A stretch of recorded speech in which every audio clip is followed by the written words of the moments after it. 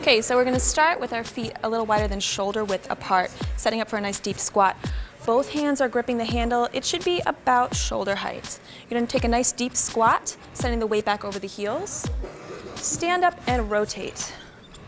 Twisting the rib cage around the axis of your spine, rotating the hips with it. You're pulling with your left and pushing with your right. The core is really working here. Exhale as you twist.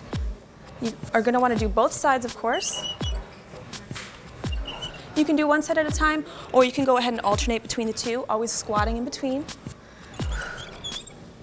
Feeling those abdominals really pull you to the other side. Our whole abdominal wall is working.